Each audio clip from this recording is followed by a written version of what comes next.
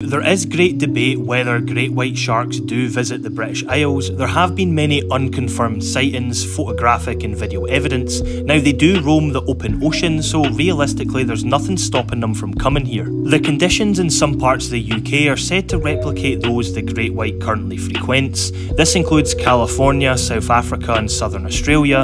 UK winter water temperatures are likely just a little bit too cold for great whites, but summer temperatures around the UK can average 18 plus plus degrees from July to September, which is within their 12 to 24 degrees Celsius habitat range. However, they can tolerate temperatures as low as 3.5 degrees, so realistically they could be in the UK all year round. A great white's diet includes different types of seals, sea lions, fish, seabirds, and a variety of dolphins and porpoises. They have also been seen scavenging on large whale carcasses.